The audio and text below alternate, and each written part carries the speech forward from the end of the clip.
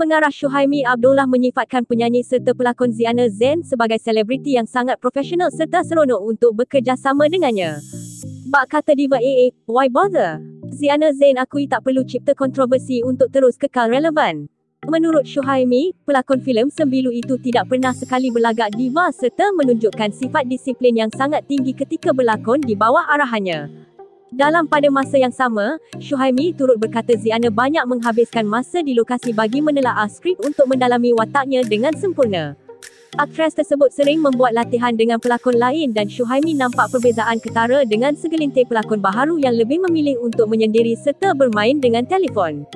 Walau bagaimanapun, Syuhaimi tidak mengambil kesempatan ke atas pelakon tersebut dan akan melepaskannya pulang ke rumah sebelum jam 10 malam.